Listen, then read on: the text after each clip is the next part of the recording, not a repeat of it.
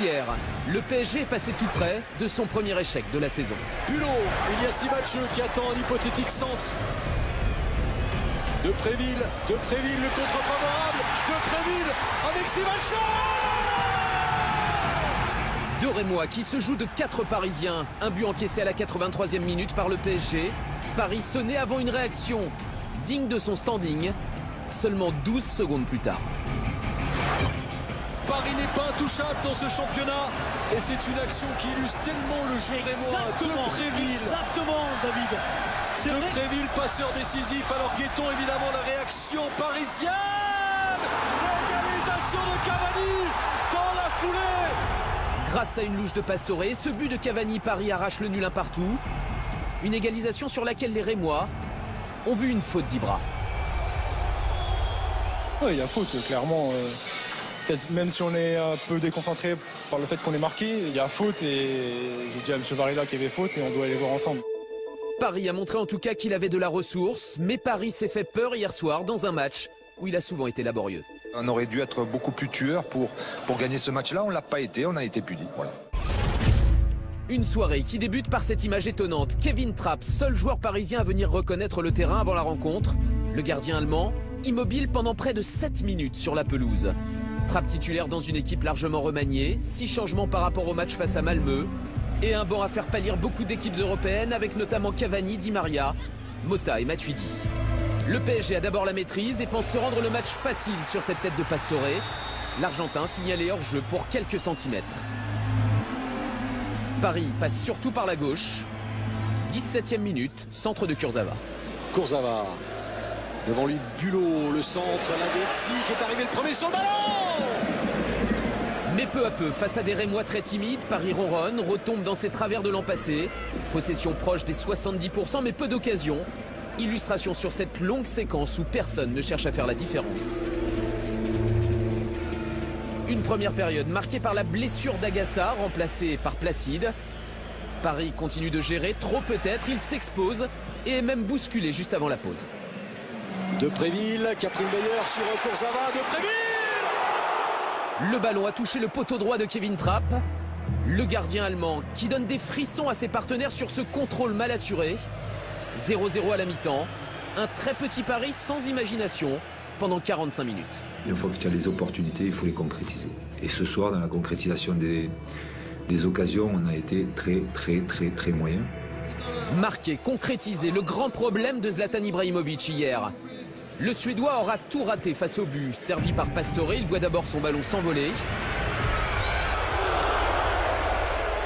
Zlatan, pas dans un grand soir, agacé par le choix de ses partenaires, comme sur ce centre de Vanderville. Ibra maladroit ensuite après cette tête de Marquinhos et ce bel arrêt de Johnny Placide. Avant d'avoir une opportunité incroyable à l'heure de jeu. Ibrahimovic, Verratti prend sa chance, Verratti repoussé la tête oh, de Ibra n'y croit pas lui-même, compteur bloqué à zéro depuis 421 minutes. Zlatan est-il en plein doute? You don't score for 430 minutes. Okay. You don't have uh, the impression that it's Zlatan Ibrahimovic this one. And something is wrong. Then we need to change this.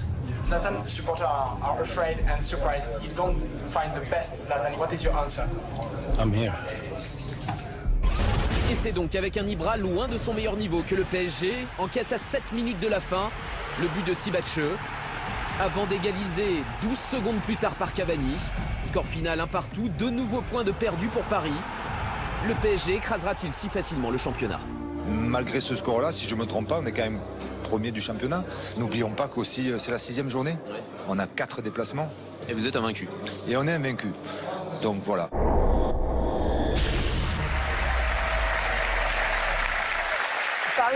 Invaincu, euh, certes, mais c'est vrai que Paris, dont on se demandait s'ils allaient pouvoir terminer le championnat invaincu, est passé tout près d'une euh, première défaite. Ça fait deux points sur six possibles lors des deux derniers matchs. On a l'impression quand même d'avoir retrouvé l'équipe euh, du début de saison dernière, qui, qui doute un petit peu, qui, qui manque de lion, qui manque d'efficacité. Par rapport aux deux premières victoires à, l'extérieur, à, à Lille à Montpellier où ça n'avait pas été extraordinairement brillant dans le jeu. Ce qui avait marqué, c'était l'intransigeance du PSG sur le plan défensif. Là, clairement, c'était pas le cas hier. Franchement, Paris était des années-lumière au-dessus de Reims. Et pourtant, Reims s'est créé des occasions. Donc, c'est surtout là. Mais bon, c'est vrai que c'était aussi le premier match de la rotation. On s'est aperçu que pour un Kurzawa, que pour un, un Stambouli, c'était pas le tout d'enfiler le maillot du PSG. Il faut aussi être au niveau quand on joue et que ça va être plus compliqué que prévu. Ça s'explique de toute manière. euh, déjà, c'est la trêve internationale qui est passée. Les matchs importants Ligue des Champions sont passés.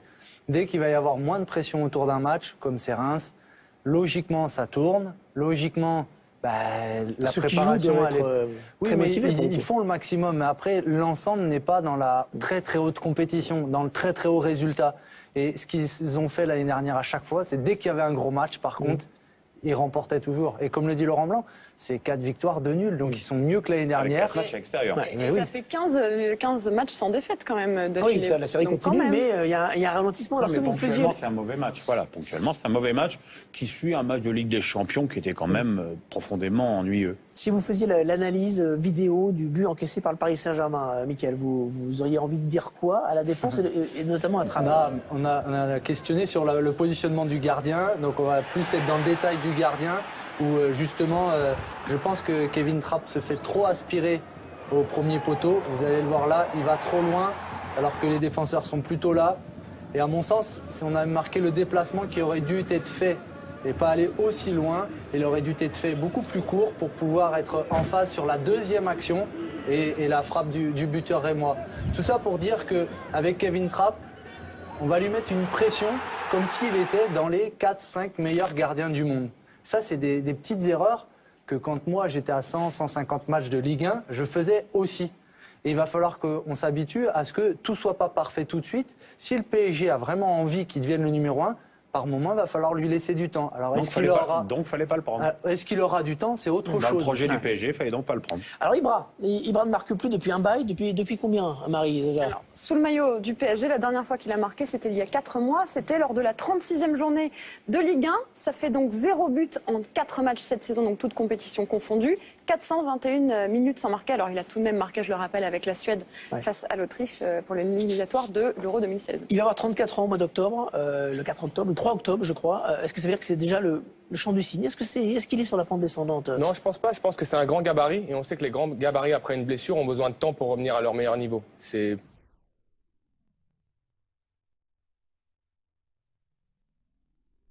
plus difficile que pour, euh, pour un joueur qui est de petite taille. D'autant plus Donc, que c'est euh, pas une blessure, là, c'est deux. Voilà, on Il y a l'entorse du genou, on Voilà. fait les champions contre Lyon, plus le dos euh, avec l'équipe Et ça, ça de joue. Suède en Donc, Russie. euh, on voit un Zlatan qui est peut-être moins précis, moins en jambes. Mais sincèrement, le talent, il l'a toujours. Lorsqu'on voit euh, la petite déviation pour Cavani en Ligue des Champions, Zlatan sera capable de faire des, des merveilles pour le Paris Saint-Germain. Toute l'année, on va se poser la question sur Zlatan. Il est en fin de contrat. Euh, on va, on va- ça va tourner. Déjà, ça tourne beaucoup autour de lui, mais encore plus cette année. Et le mec, il a mis 105 buts en 3 ans avec le PSG. Oui, mais ça c'est le passé. On parle Non, d'accord, oui, d'accord, c'est le passé. Mais avec les deux, avec les blessures, bien sûr, non mais tu as, tu as tout à fait raison. Mais avec les deux blessures, dire, le mec, on va peut-être lui laisser, avant de commencer à savoir si euh, Ibra commence à être bouilli, peut-être attendre peut-être 4-5 matchs. Putain, Parce que si on de avait. la chance, tu lui laisses 4-5 matchs. Je veux pas Cavani. hein. Non, ben justement, parce que si on lui a- à Cavani, on avait fait la même, la- le même procès, à part moi, que ce qu'on fait à Ibra là, il serait déjà à West Bromwich Je Albion. crois pas. Je pense que tu Non, non, non, je crois pas. Ben, en plus, là, il n'y a rien à dire sur Cavani, il marche sur l'eau. Mais je te dis que Cavani, l'année dernière, il y en a eu des matchs où il marquait pas. Et où Il a des marqué matchs où il 18 ramenait buts des... Cavani l'année dernière, Non, Zlatan j'entends bien, 19. mais il y a quand même eu des périodes où Cavani est resté de longues semaines sans marquer. Et où Laurent Blanc a continué à, lui lui laisser sa confiance. comme il l'a fait avec Thiago Silva. Je vois pas pourquoi on ne ferait pas pareil avec Oui, Ibra. Ça, je suis d'accord. Un mot, Michael,